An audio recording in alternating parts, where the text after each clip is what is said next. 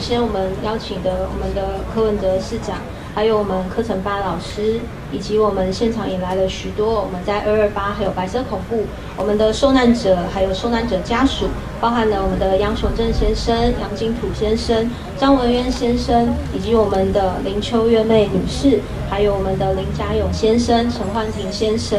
那以及今天呢，我们看到现场有来了许多的议员，还有我们的里长。那以及看到有一些我们社区的爸爸妈妈也带着小朋友们一起来参加我们今天新竹市的二二八纪念音乐会。呃，大家午安，大家好。今天是我们的二二八和平纪念日，今年呢是适逢了我们事件发生的第七十六周年。那在这边，我们红安也代表我们新竹市政府。再次的向我们二二八事件以及我们所有经历迫害的受难者以及受难者家属表达我们哀悼以及追思之意。二二八事件是我们台湾历史上最悲痛的一页。我想，其实对于台湾许多人还有许多的家庭来说，真的是一个永难磨灭的悲痛的记忆。而接下来的白色恐怖，刚刚我们香兰老师也跟大家说明了许多的一些呃在新竹市所发生的情境。老实说。对于一个后辈来说，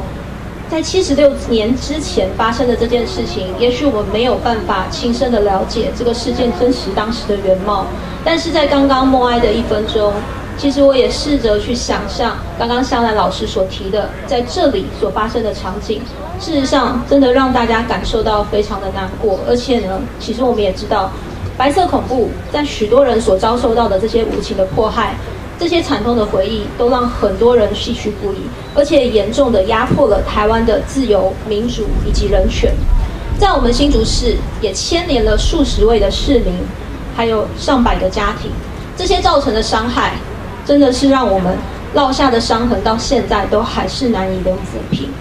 我想，只有深刻检视过往所发生的这些伤痛，我们才能够拥有真正的和解，也才会拥有共同的信念。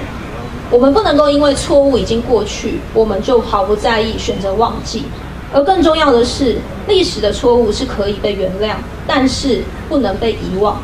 所以，我们必须要面对的是，在历史的这一些过去的经验以下，我们要以史为鉴。我们绝对不能够再容许相同的错误再次的发生。所以在今天，很感谢我们的出席的这些我们的议员、里长，大家一起。来重视我们的二二八和平的纪念日这样的一个日子，我相信各位在手持着呃我们的刚刚的这样子的一个花束到前方的时候，我相信大家的心里都是希望，在我们有这样的一个历史的过去底下，我们怎么样能够反省自己，不要再发生集权政治所带给人民的这些不幸。随着时代的变迁，相同的事情绝对不能够再发生。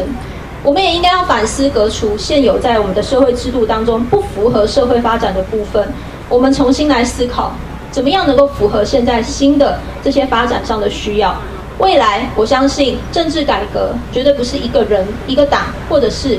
一个少部分人的工作，它应该是我们全民大家一起要努力的方向。在台湾，我们有好的民主政治、多党政治的这样的一个体制，我们必须要共同努力来健全我们的整个的政治制度，减少社会撕裂的这种对立纷扰的发生，才能够促进我们族群之间的共荣共和，以及健全我们社会文化的发展。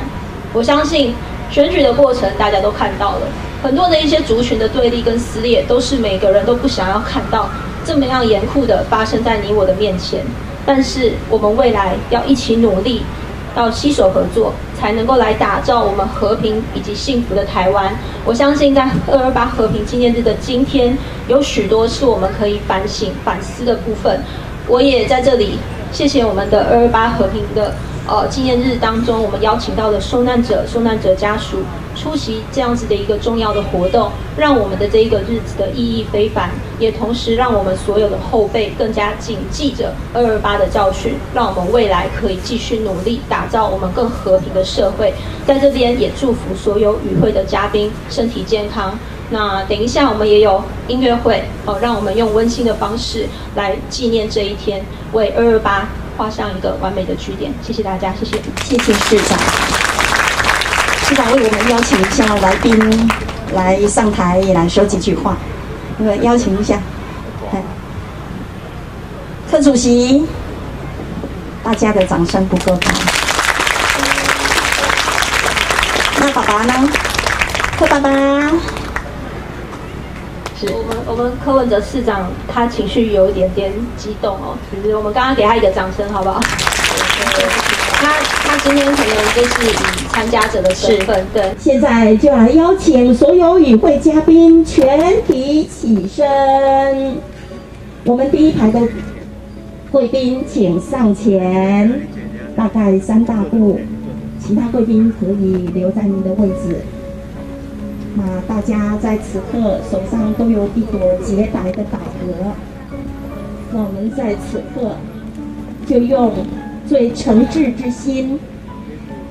来追思缅怀当年的这些精英分子如何的牺牲，来为我们的民主之路铺上一层血泪大道。要邀请大家。沉思默哀一分钟，请默哀。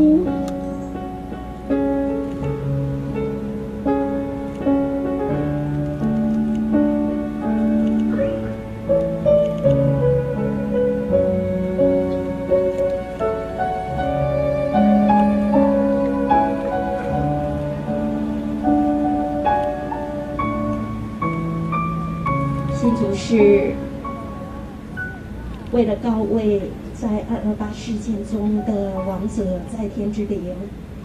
为了平抚受难者家属悲痛之情，建立了纪念碑来疗愈社会的巨创。自今而后，无分你我，连为一体，互助以爱相待以诚，让我们一起化仇恨于无形。让爱与和平永远相随，天佑宝岛，万古长青。默哀完毕，有请市长、副市长带领我们所有嘉宾向前，把手上这一束纯洁百合放置在我们纪念碑前的案台上，让我们大家。来以献上这一朵纯洁纯白的百合，感念先贤先辈，他们为新竹、为社会的民主所留下来的印记。